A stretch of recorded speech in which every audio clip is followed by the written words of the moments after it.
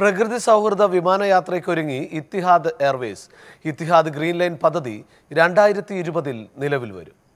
Carbon മാലിന്യം പുറന്തള്ളുന്നതിന്റെ തോത് പരമാവധി കുറയ്ക്കുന്ന പദ്ധതിക്കാണ് ബോയിംഗ് കമ്പനിയുമായി ചേർന്ന് ഇത്തിഹാദ് തുടക്കമിടുന്നത്.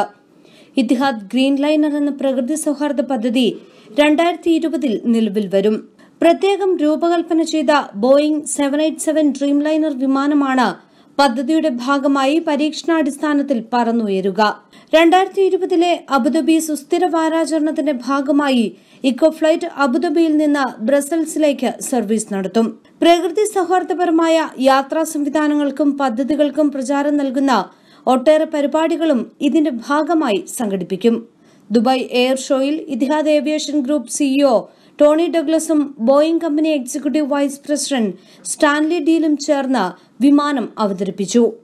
വ്യോമയാന രംഗങ്ങളിലെ വളർച്ച അന്തരീക്ഷത്തിൽ കാർബൺ മാലിന്യം പുറന്തള്ളുന്നതിന്റെ തോത് വലിയ അളവിൽ ഉയർത്തിയിരുന്നു. ഇത് കുറയ്ക്കാനുള്ള പരിഹാര മാർഗങ്ങൾ ഏവിയേഷൻ മേഖലയുടെ കൂടി ഉത്തരവാദിത്വമാണെന്ന് ടോണി ഡഗ്ലസ് വ്യക്തമാക്കി.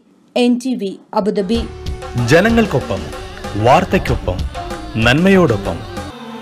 N T V U A to the world.